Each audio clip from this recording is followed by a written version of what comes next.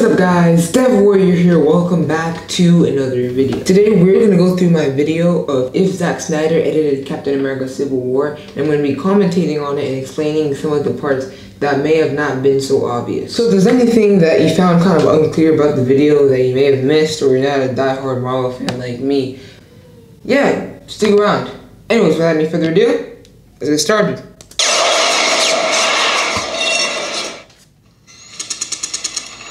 So, you know, the aspect ratio changed. So yeah, I changed the aspect ratio to make it like more Zack Snydery. I admit I probably should have changed like it to be two bars on the side to have it like a four by three aspect ratio, but I I, I just didn't feel like doing that. So yeah.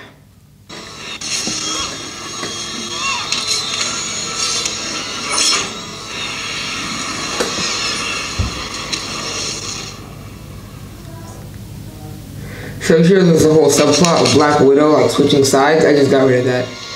Okay, color grading changed as you can see. Cause you know Zack Snyder does like more of a bluish color grade. I actually did do like a color match thing, so it's exactly the same color grading as it's supposed to be.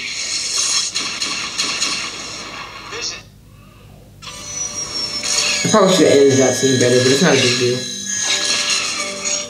deal. Beautiful lie.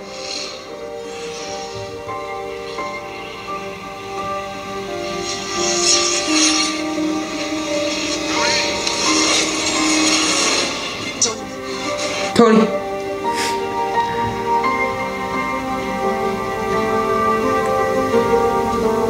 I think Huey said like I'm flying dead stick or something like that. I just got rid of that to make it more emotional sounding. Okay, so he actually said something here, but I drowned it out with the music to make it sound. I, I, I thought it sounded better, more emotional and stuff.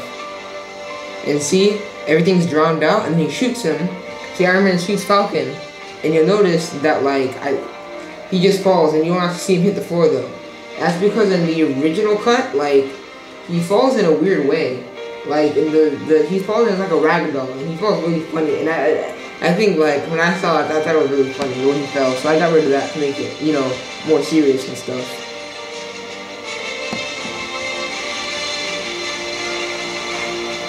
So originally this whole thing was like a 12 minute video, but I had to put it into parts because like I got I got I got copyrighted and stuff. But hopefully I shouldn't have to put this video into parts. So yeah, this this scene where he's like having nightmares is from Iron Man three. But it's based off of the and the scene in Batman vs Superman where he has like nightmares about Superman turning evil.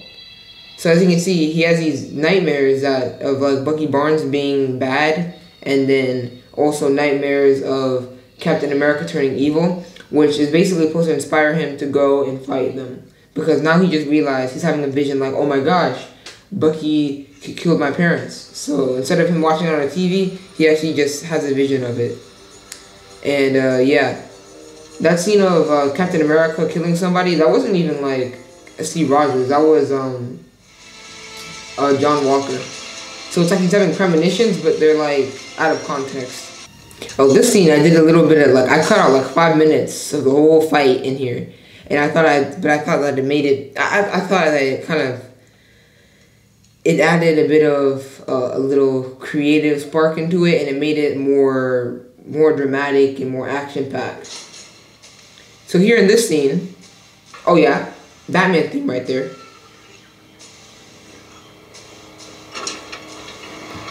So in this scene, Iron Man comes in and is like, alright guys, I, am sorry, I made a mistake. I, will be your friend now.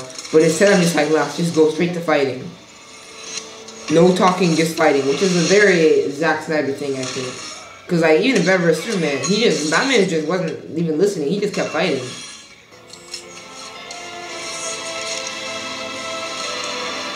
That's the Man of Steel theme, but played like in a very sad way.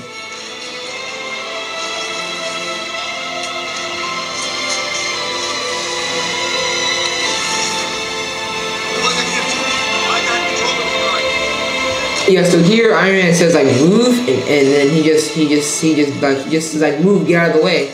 But instead, I got that out of there and just had him say nothing. And though, even though I cut a lot of parts in the scene, it kind of like make it still it still works. I think even though I cut a lot of parts, like you wouldn't really notice if this was your first time. But yeah,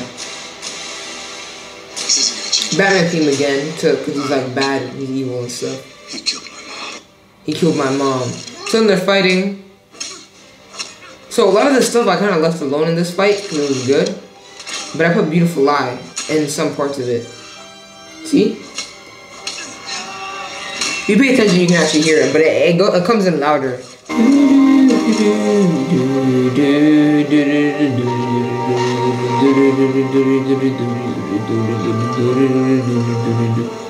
Again, he's actually screaming here, but I drowned out the screaming with music. And I don't know, that, that, I think that makes everything more dramatic when you drown out the screaming with music.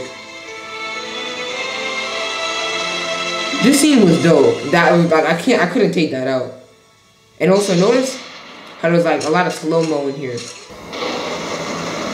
Yo, this scene made back then I like this music that I used made Iron Man seem like a, a threat, like Dude, this is Do You Bleed? Final warning. Yeah, that's threatening, man.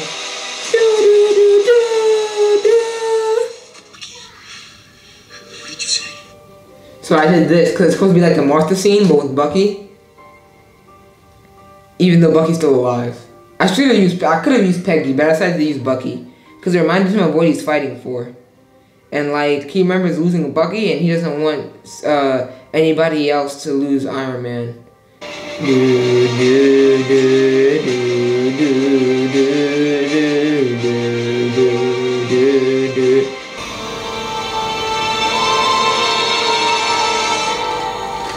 And uh, also, there was a scene where like Iron Man visited the prison, but again, it didn't make sense because of what I did here, so I kind of just cut that out. I kind of got rid of all the happy scenes.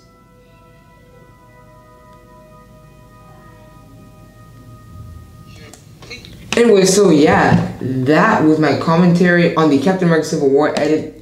If there's any questions you had, anything I didn't explain that clearly or anything like that, let me know down in the comments below. But with that being said, like, share, subscribe. Catch you in the next one. Peace.